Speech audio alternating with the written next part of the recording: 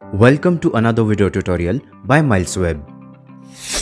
Click on the subscribe button to get notified for our latest videos.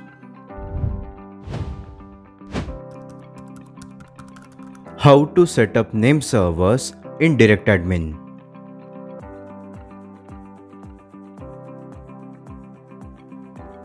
Log in to DirectAdmin panel with your reseller account go to Server Manager section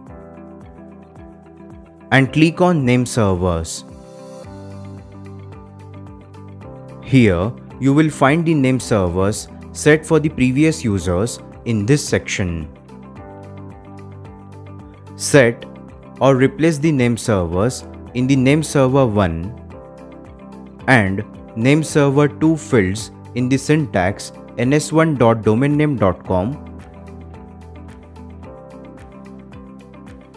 and ns2.domainname.com like this.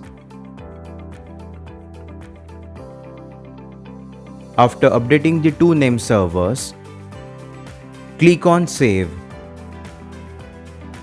In this way, you can set up name servers in DirectAdmin. Hopefully this video was helpful for you.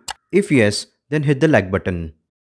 For any technical questions, you can contact us on this email ID. Do follow us on other social media platforms.